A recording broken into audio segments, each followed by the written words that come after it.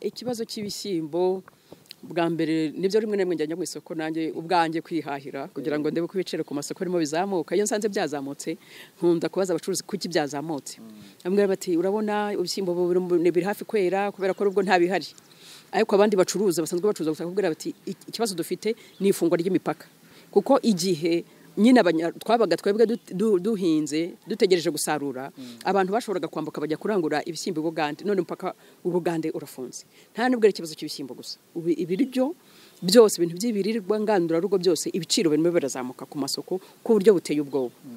Rero ikibazo gihari ni imibanire mibi dufite iri hagati y'igihugu cyacu n'ibihugu by'abaturanyi. Bigatuma ibyo twashobora guharanira n'abaturanyi bitatugeraho abaturage bakicwa n'inzara. Ni hahandi mvuga nti darufa icyo tuje gukora ni ukuba ijwi ry'abo baturage bo hano birirwa babindega buri munsi ariko ntekereza ko babindega nabo bazi neza ko babigize nkano bazi neza kuko mu myaka irenga cumi n'icyenda amaze muri politiki ntabwo nemera ko ibibazo dufite mu gihugu cyacu bishobora kurangizwa no kumena amaraso. Kuko iyo wamennye amaraso y'umuturage wagombaga kuvugira wagombaga gufasha ubwo se ubukoze iki? Nta kibazo bukemuye ariko ibyo ntabwo bimbuza kutishimira ko nahawe igihembo.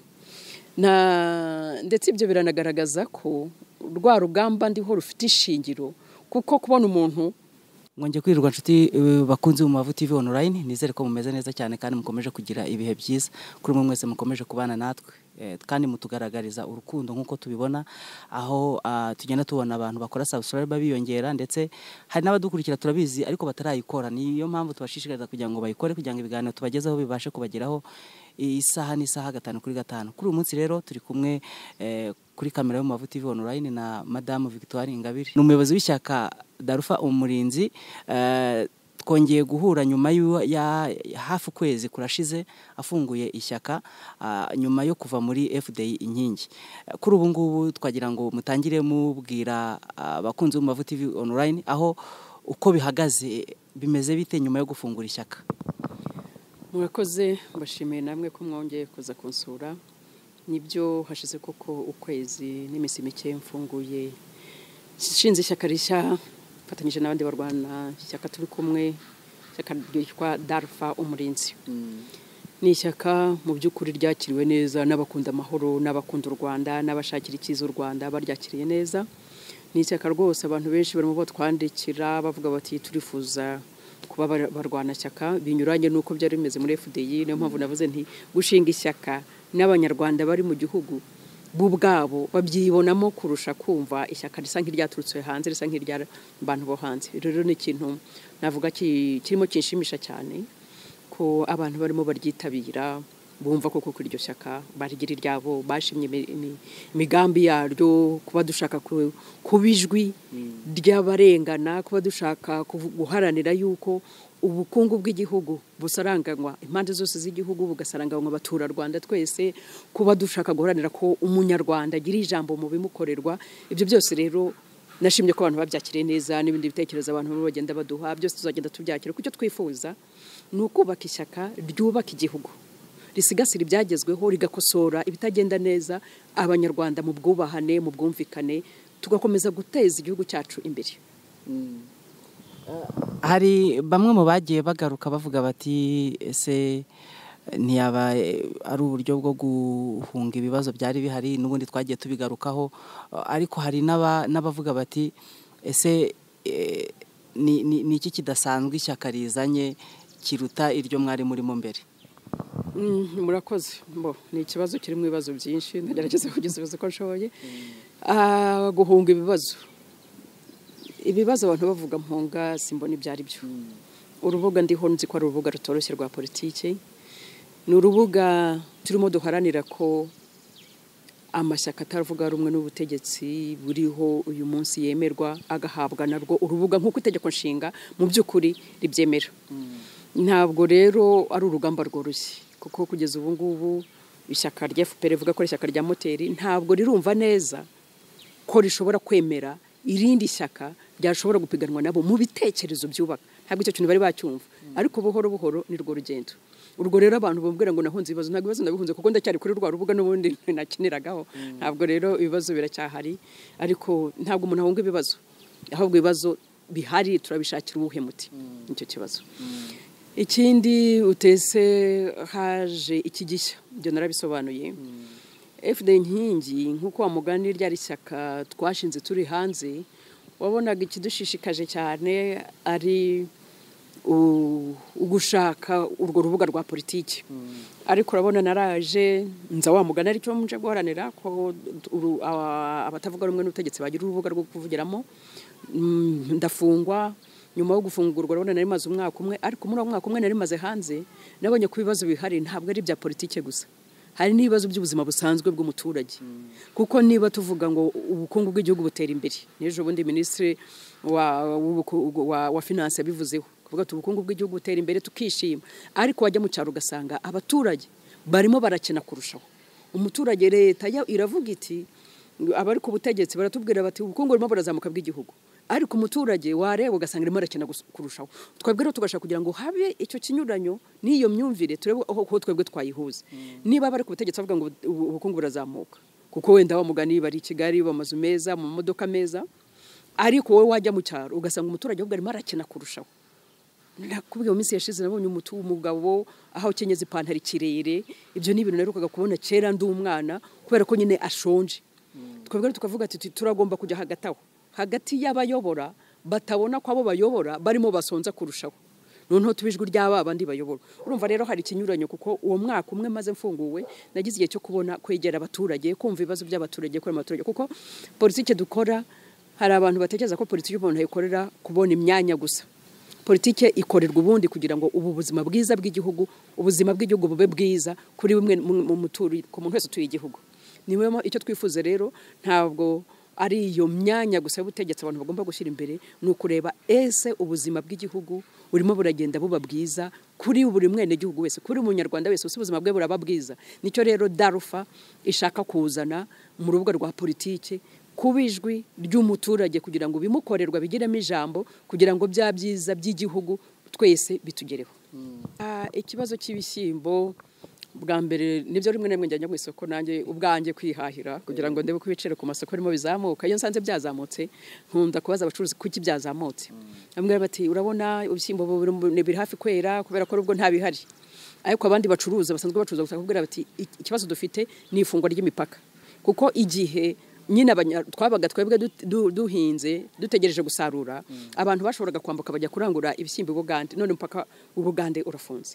Nta nubwo ari ikibazo cy'ibishyimbo gusa. Ibiryo byose ibintu by'ibirirwa ngandurarugo byose ibiciro birimo birazamuka ku masoko ku buryo buteye ubwoba. Rero ikibazo gihari ni imibanire mibi dufite iri hagati y'igihugu cyacu n'ibihugu by'abaturanyi. Bigatuma ibyo twashobora guharanira n'abaturanyi bi- bi- bitatugeraho abaturage bakicwa n'inzara. Ni hahandi mvuga nti darufa icyo tuje gukora ni ukuba ijwi ry'abo baturage.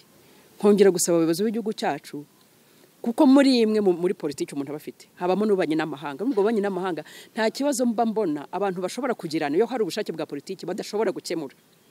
Rero nkagira ngo abayobozi b'igihugu cyacu nibare ikibazo bafitanye n'ubuganda ese koko icyo kibazo ntabwo bashobora kugikemura?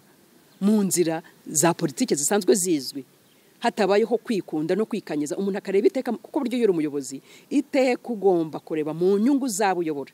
Ukirinda kureba mu nyungu zawe bwite. Kuko ushobora kuba ufite ikibazo cyawe bwite n'umuntu bigatuma hari benshi bababariramo kubera yuko nyine wowe hari ikibazo cyawe bwite ufite. Iyo iyo uri umuyobozi mwiza wirinda kureba iteka inyungu zawe. Ukareba inyungu zawe ushinzwe ukavuga uti ndemera mbabare nce bugufi ariko abo nyobora be gushiriramo abanyarwanda barimo barashiriramo kubera ko hari ikibazo hagati y'abayobozi b'ibihugu byacu byombi. Nkaba mbasaba ngo bashake uburyo bagikemura ariko abaturage babo be gushira Ah, mu minsi ishize hari igihembo cyari ni igihugu cyo muri Espagne.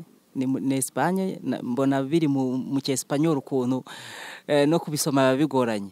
Eh, kiriya gihembo wakitubwiraho iki ko uyu munsi ari bwo bari buze ku- kukikugezaho? Abakoze ariko burya website burya ushobora no kuyishyira mu rundi rurimi igifaransa cyangwa icyongereza bigakunda.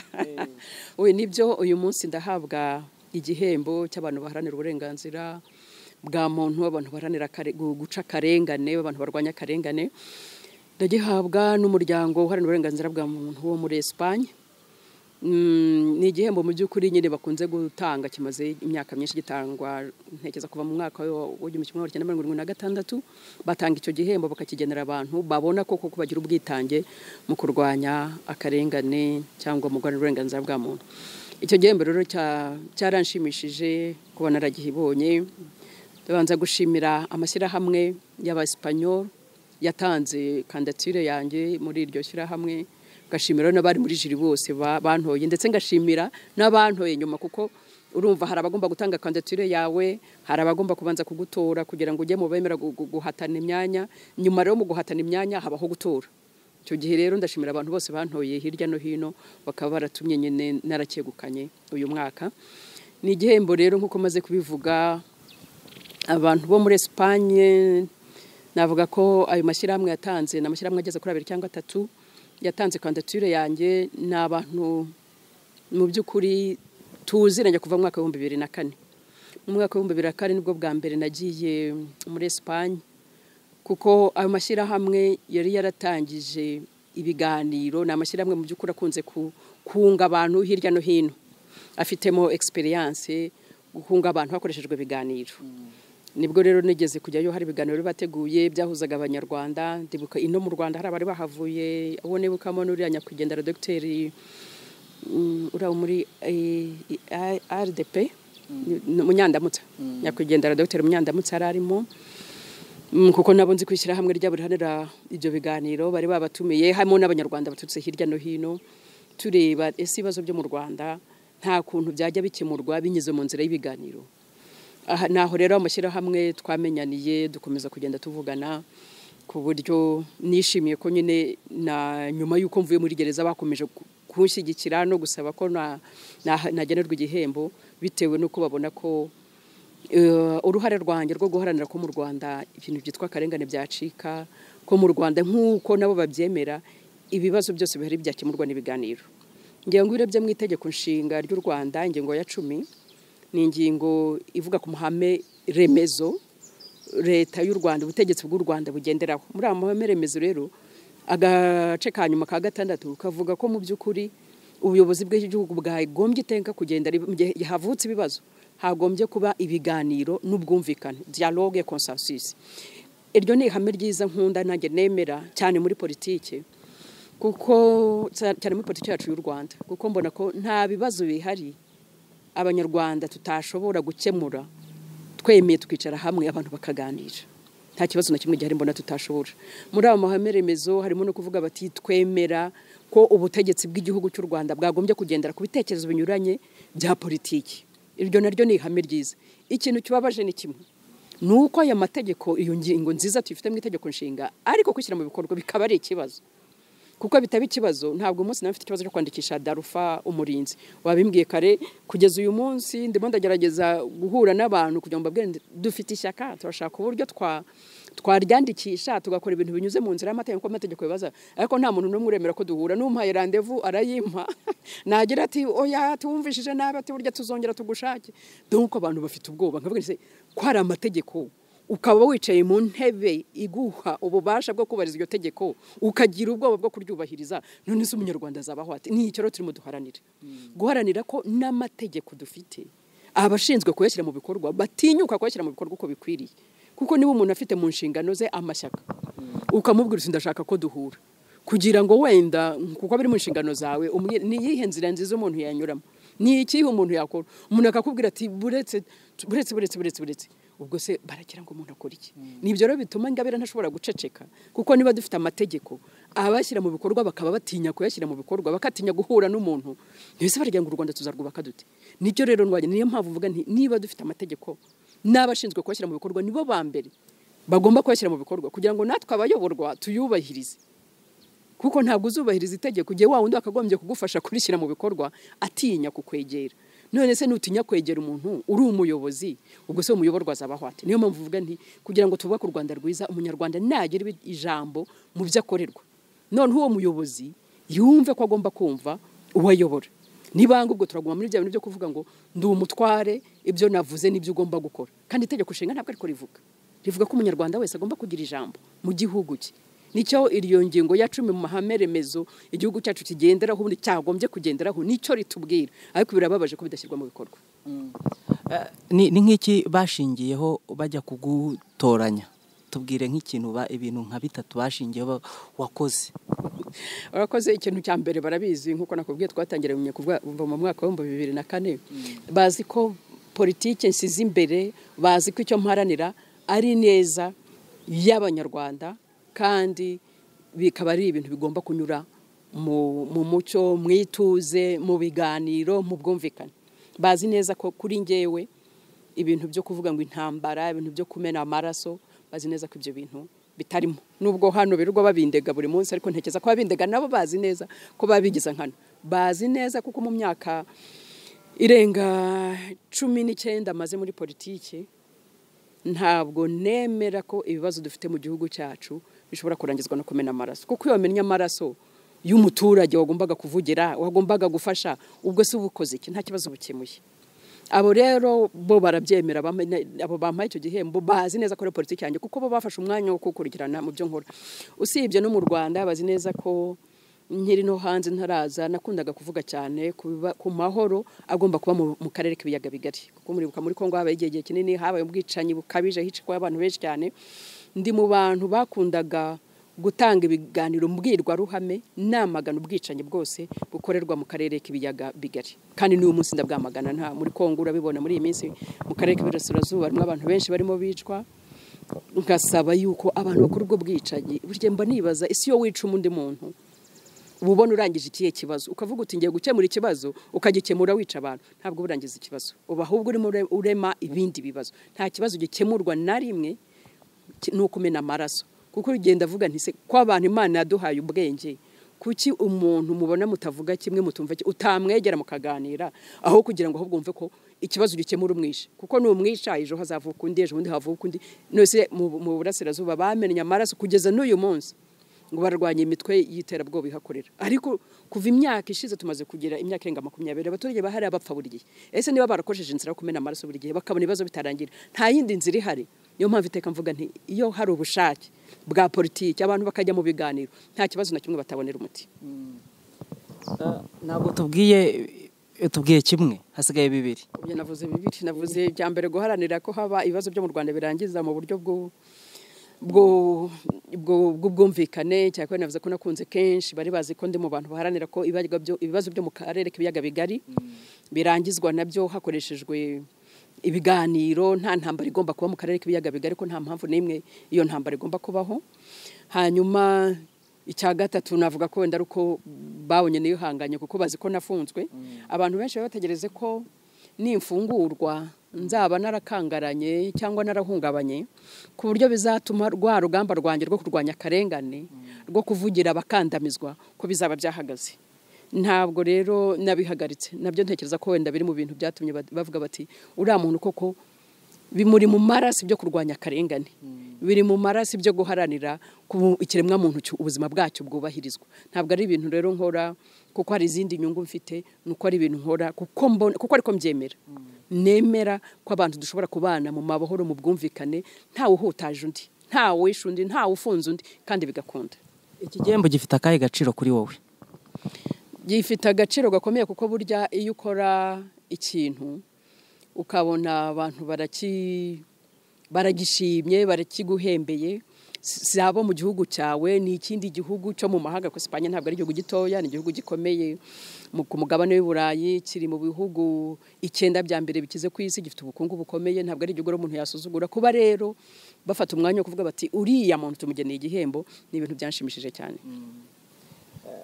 Ura- ura- ura- ura- ura- ura- urakibona gute? Urakishimira gute? Gahunda yacyo imeze ite? Um, ubundi nagombaga kuba nagiyeyo. Mm, n'abayobozi ba Espagne bari bagiranye bavuganye n'ubuyobozi bwa na bamwe mu bayobozi ba hano mu gihugu cyacu babemera ko bashobora kundeka nkajyayo ndanandika ibaruwa. Uzi ko mu cyemezo mu itegeko ngenga rya perezida wa repubulika rindekura harimo ingingo ya kabiri ivuga ko ntemerewe gusohoka mu gihugu cyerekana aha uburenganzira na minisitiri w'ubutabera. Naramwandikiye ntabwo bigeze bansubiza ariko ibyo ntabwo bimbuza kutishimira ko nahawe igihembo. Ndetse ibyo biranagaragaza ko rwa rugamba ndiho rufite ishingiro kuko kubona umuntu afite uburenganzira ubundi mu by'ukuri usibye n'itegeko nshinga n'amategeko arengera uburenganzira bwa muntu avuga ko umuntu wese afite uburenganzira bwo kujya aho ashaka. Kuba rero ntashobora kurenga umupaka w'igihugu cyanjye biragaragara ko ari ikibazo. Biragaragara ko dufite ikibazo kuba n'ahari dufite ubutegetsi bushobora kubuza umuntu kuba ashobora kugera aho ajya ni ikibazo dufite mu gihugu cyacu. Bigaragaza ko rwa rugamba ndiho nanahembewe rufite ishingiro. Ndetse ntekereza ko biraza gushimangira abo bambaye igihembo bavuga bati wa muntu twamuhaye igihembo cy'ukuri. Kuko urugamba ariho ruragaragaza ko nubwo arukora ariko rukora ari mu nzitane. Kuba badashobora kumureka ngo ashobore gusohoka aze guhabwa igihembo. Ntabwo nasabaga iminsi myinshi. Nasabaga kuba naragiye ejo ku itariki ya kane nkagaruka ku itariki ya munani. Ni iminsi itarenze itanu gusa. Ariko kuba n'iminsi itanu badashobora kundeka ngo ngende uragaragaza nyine cya kibazo dufite mu gihugu cyacu. Dufite amategeko atubahirizwa. Abagomba kuyashyira mu bikorwa badashobora kuyubahiriza. Ni ikibazo gikomeye gishimangira rwa rugamba ndiho rwo kugira ngo abanyarwanda tugire ubwisanzure. Amategeko hari abashinzwe kuyashyira mu bikorwa nabo bayubahirize. Kugira ngo abanyarwanda ntabwo nzi ukuntu biri bugaragare hanze kumva ko hari umunyarwanda wabujijwe uburenganzira bwe bwo gusohoka hanze. Niho njya nibaza nkavuga ese aba bayobozi b'igihugu cyacu? Bajya bavuga ngo umuntu yangiza isura y'igihugu. Ese ubwo baba bakoze? Bumva ninjye wangije isura y'igihugu cyangwa ibikorwa byabo ni byo byayangije? Kuko reba kugira ngo minisitiri w'ububanyi n'amahanga w'igihugu cya Espagne avugane na minisitiri w'ububanyi n'amahanga w'u Rwanda amwemerera ati nta kibazo azaza nandike ntibansubize. Ubwo se baratekereza ko bitanga iyihe sura? Ntabwo ari njye ubushabeje igihugu. Imikorere y'ubuyobozi niyo ibwabyo ibisebeje abantu. Ibitanze isura mbi hanze. Kuko mu madisikuru ari buvugwe wa mu minisitiri wivuga ni we minisitiri wa hano araba ahari ni we uza gutanga icyo gihembo. Donc ari bubone ntahari avuga ati "Mm, byagenze gute se ko bari bavuze ko azaba ahari? Donc urumva hari ibintu abantu bakora kandi bitari ngombwa bikadusebereza igihugu. Bitari ngombwa rwose kuko ntabwo nkeneye kugenda ngo njye hanze. Ni ukuri natashye mu mwaka w'ibihumbi bibiri na cumi. Mvuye hanze ntazasubira kujya kuba hanze. Ntabwo nshobora kongera kujya kuba hanze kuko nari mfite akazi nagasezeyeho. Nari mfite umuryango byensi ndifuza kujya guhura n'umuryango wanjye nkujyana n'umugabo wanjye n'abana ariko bitavuze kongera gutura hanze ntabwo biri muri gahunda zanjye. Rero gutekereza ngo ingabire ndatumuhaye uruhushya yagenda ntagaruke baribeshya cyane. Kuko nagarutse mu gihugu cyanjye ni ho nzaba sinigeze ngira ubwenegihugu. Bundi bw'ikindi gihugu nta nubwo nzagira nta nubwo nzasaba nta nubwo nzongera kuba impunzi. Ndagira ngo mumpurize wenda abantu baba bashidikanya bavuga bateza ni nagenda ntari bugaruke cyangwa iki? Ibyo ngibyo babikureho niba naremeje gukora politiki mu gihugu. Ni icyemezo nafashe mu mwaka w'ibihumbi bibiri n'umunani mu mwaka w'ibihumbi bibiri na cumi ndataha ntabwo rero nshobora kugisubiraho. Ntabwo ndi umuntu ukunda cyane gusubira ku cyemezo nafashe. Eh, iteka buri gihe iyo umuntu ahuye nawe haba hari ubutumwa ushobora gutanga. Nagira ngo niba buhari ubutambutse. Bakoze ubutumwa natanga bwa mbere ndabuha abayobozi b'igihugu cyacu nongera kubasaba ngo amategeko dufite bagerageze bumve ko bafite inshingano yo gushyira mu bikorwa. Kuko ntabwo bajya basaba bayoborwa gushyira mu bikorwa amategeko amategeko bo batayashyira mu bikorwa. Nta burenga nta- ntabwo mbona impamvu n'imwe badashobora kunyemera ko nasohoka igihugu nibura iminsi itanu. Kandi itegeko nshinga rirabyemera ntabwo ndabona impamvu n'imwe kugeza ubu ngubu nta muntu ushobora kunyakira ngo tuvugane ku ishyaka rya darufa na- na- nashyizeho n'aba bifite mu nshingano zabo ubwo bwoba bafite kandi itegeko nshinga rirahari. Ntabwo ndagira ngo nsaba ubuyobozi bw'igihugu cyacu rwose dufite amategeko bagerageze ari bo bashyira mu bikorwa natwe tuyashyira mu bikorwa kugira ngo twubake igi- igihugu cyacu cyiza. Ndabasaba buri munyarwanda wese ajye gusoma ingingo ya cumi yo mu itegeko nshinga. Noneho tubigire umugambi ko iyo ngingo twese tuyigira iyacu kandi tugakora ku buryo ishyirwa mu bikorwa. Icyo nsaba abanyarwanda muri rusange twe tuyoborwa no gukomeza gukunda igihugu cyacu. Tugaharanira icyateza imbere igihugu cyacu. Mu byateza imbere igihugu cyacu rero harimo no kwanga akarengane. Kuko buryo wemeye akarengane ntabwo buryo uba uba uteza imbere igihugu cyawe. Urimo ugisubiza inyuma. Kuko wemeye kurenganywa ntacyo uba uri gufasha na wa wundi ukurenganya ntacyo urimo kumufasha. Abanyarwanda rero twanga akarengane dushyire hamwe twese twumve ko dushobora kubaka igihugu cyacu mu bwubahane mu bwumvikane twanga akarengane dukunde icyiza dukomeze twubake igihugu cyacu. Namwe murakoze.